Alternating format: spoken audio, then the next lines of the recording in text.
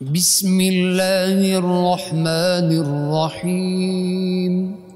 اللهم افتح لي فيه أبواب الجنان وأغلق عني فيه أبواب النيران.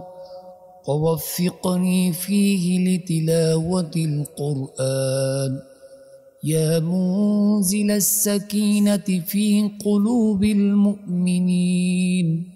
اے اللہ، اپنی جنتوں کے دروازے مجھ پر کھول دے اور دوزخ کی بھڑکتی آگ کے دروازے مجھ پر بند کر دے اور مجھے اس مہینے میں تلاوت قرآن کی توفیق عطا فرما۔ اے مومنوں کے دلوں میں سکون نازل کرنے والے